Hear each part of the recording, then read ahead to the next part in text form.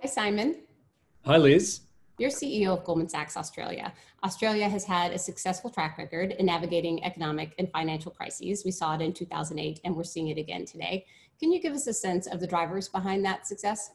Yes, Liz, Australia has been very fortunate in navigating our way through a number of crises. Um, and I really put that down to the fact that our government has been very nimble in responding to both the global financial crisis and now the current COVID 19 crisis. In both cases, uh, our government acted very quickly by providing large stimulus packages and also importantly, acting in very close coordination with the Reserve Bank of Australia and with our regulators.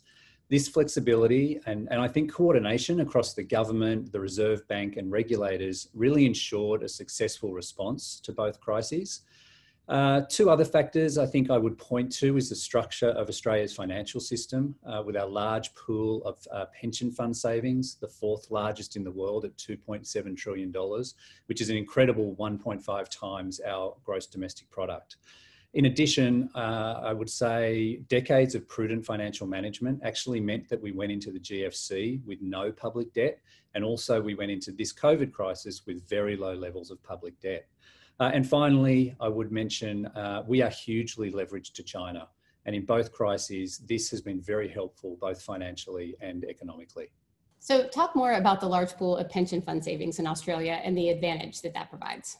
Uh, yes, Liz. Australia's compulsory superannuation regime or pension fund uh, plan, as you know it in the US, is a huge structural advantage uh, for our country.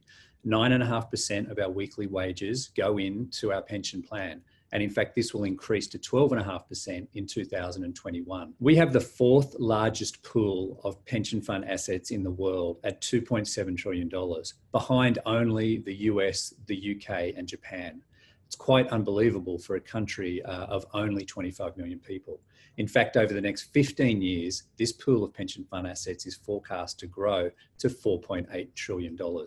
If that comes to pass, then the pension fund sector will dominate the Australian economy and totally outstrip the size of the conventional finance sector, including the big four banks. And unlike the banks, this massive pool of savings in super is even more powerful because there are no capital constraints on it and very few restrictions on how it can be invested. Our pension fund managers are scouring the world for investment opportunities. Offshore investments by Australian pension fund managers now equate to 25% of Australia's GDP. This is a really big change from Australia's traditional history as a hungry capital importer. Uh, the pension fund regime has also underpinned the ability of corporate Australia to raise record levels of debt and equity through this COVID period. So, we have seen significant capital raising in Australia during the pandemic. Tell us more about that. We have seen significant raisings uh, since the shutdown. In fact, in Australia, we've seen a record level of equity capital raisings uh, so far um, year to date, with over $40 billion of equity capital being raised. In fact, in April this year, um, it was a record on the ASX um, for the amount of equity capital raised in history in one month, being over $15 billion. Of course, at the beginning of the pandemic, the capital raisings were all about liquidity, survival, and balance sheet repair. However, in more recent months, I have been very surprised at just um, how active corporate Australia has been to move to identify both organic and inorganic growth opportunities and look to equity capital markets to fund these acquisitions. Uh, in fact, 60% of the equity raised in Australia since the pandemic has been for M&A development and growth purposes, arising out of structural disruptions from the pandemic and therefore opportunities presenting themselves uh, to corporate Australia in certain sectors. Only 40% of the equity capital raised in Australia since the pandemic began has been for balance sheet recaps. So, very different to what we experienced during the GFC in Australia, and actually very different to what I expected this time around. And what about the different capital raising structures that are being used in Australia, which differ from other parts of the world? As I mentioned earlier, the government, together with regulators, have been very flexible through times of crises to ensure Australian companies have access to equity capital markets. One of the most beneficial structures that has been used through this COVID period in Australia has been companies taking advantage of a waiver by ASIC and ASX to allow them to raise up to 25% of their issued capital via replacement.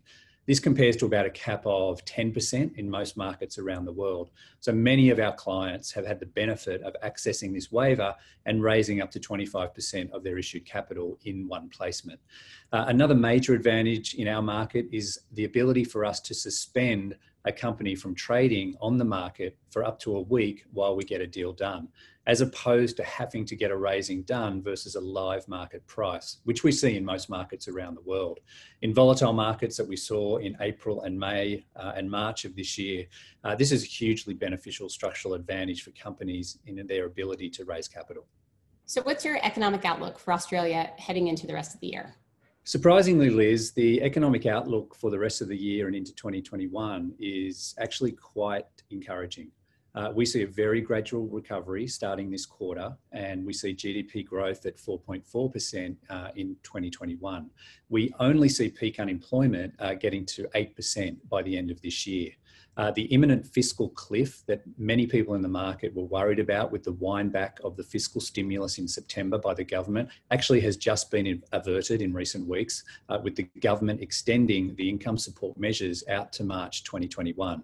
Uh, Australia's fiscal support is arguably the largest in the world in terms of the individual's income support and is also very sustainable given our low levels of public debt. So if we do get a re-emergence of the virus, there is scope for further stimulus over time if needed. And what about any challenges you see on the immediate horizon? Clearly, the biggest challenge is still the containment of the virus. Uh, and at what time can we reopen our state borders and get the economy moving again? Another looming challenge uh, as we head into the US election will be the US China tensions and how that plays out for Australia and what it means for Australia China relations, given economically just how reliant we are on China. Finally, how and when can we remove the large income stimulus and bring confidence back to workers and consumers? This will involve tax restructuring and incentives, reskilling our workforce, and large infrastructure investment. So finally, Simon, containment of coronavirus will continue to be top of mind for everyone. Australia and New Zealand have been relatively effective in their strategies so far. What do you think explains that? Uh, yes, Liz, Australia and New Zealand have been very fortunate uh, versus other countries around the world in relation to uh, this pandemic. Uh, being an island, obviously Australia and New Zealand are both islands, has been hugely beneficial and allowed us to close our international borders uh, very, very quickly. And what that actually did is gave us a very long lead time to prepare the health system for what could have come.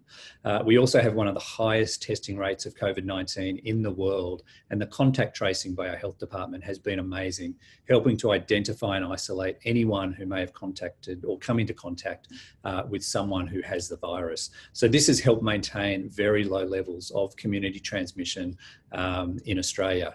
Um, however, um, you know, we cannot be complacent. We have seen uh, outbreaks of community transmission uh, very recently in Victoria, and that situation uh, is getting worse. And also in New Zealand, who had effectively eliminated the virus. Um, one of the other things that we did successfully, I think, unlike uh, in the US and other countries around the world, our states within Australia also closed their borders. So now we have just two states in Australia with active COVID cases uh, Sydney and Melbourne. Uh, that's allowed us to bring our workforce back into the office in Sydney. Uh, unfortunately, uh, Melbourne, as I said, um, is a developing situation, um, and we have to remain extreme, extremely vigilant um, and, and, continue to adhere to obviously, um, you know, safe practices um, that we're all getting used to. Thanks, Simon. Uh, thank you, Liz, and uh, I look forward to um, you know the time that we can all start to travel again and, and see each other in person around our different offices around the world. So do I. Thank you.